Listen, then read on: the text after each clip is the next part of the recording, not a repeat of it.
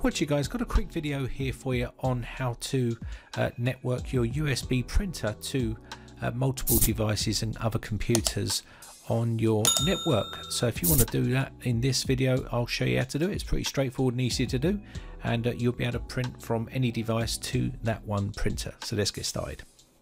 So I'm going to have a quick look here and show you how to do it. So all you need to do here is click on the uh, Windows uh, button here, click settings, go up to devices, which is your Bluetooth printers and mouse up here, you can see.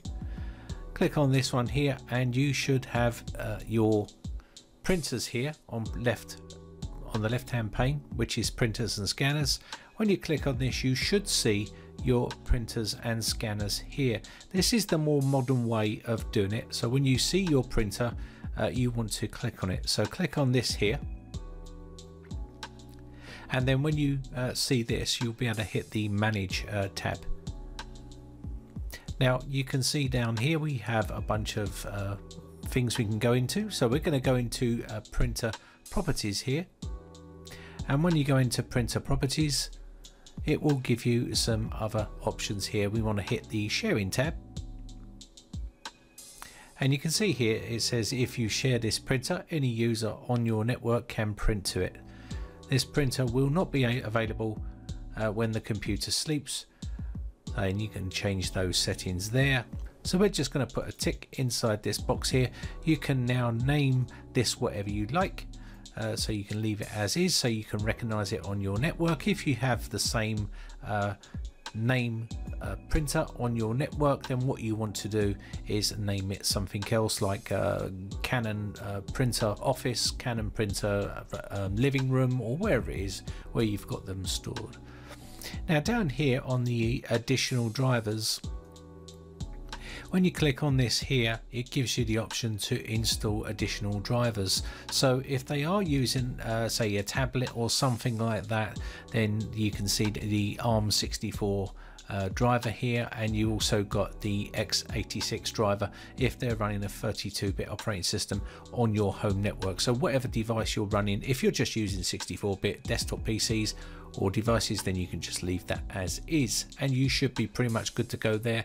All you need to do here now is click apply and OK and that will then be visible on your network. So when you go onto your network it will be visible as uh, the Canon printer under the network section. And uh, of course what you can do here is come down to the Explorer. So when you're on another device whether it'll be a phone or tablet or whatever it is that you have set up you will then go down to network on that device and it will display here when you have it all set up. It will show up as a networked printer device with the green little pipes on it. It will look something like this little uh, green this little icon here with the green pipes on it uh, saying it's networked and you can print to that printer.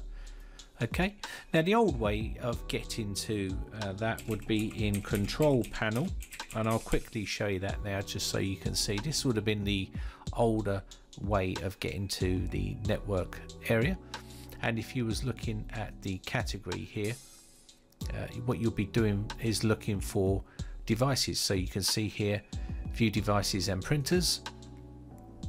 You'd come into this area here if you're used to seeing this area. And of course you would then find your printer. And then when you find your printer here which is here you could then right click on this.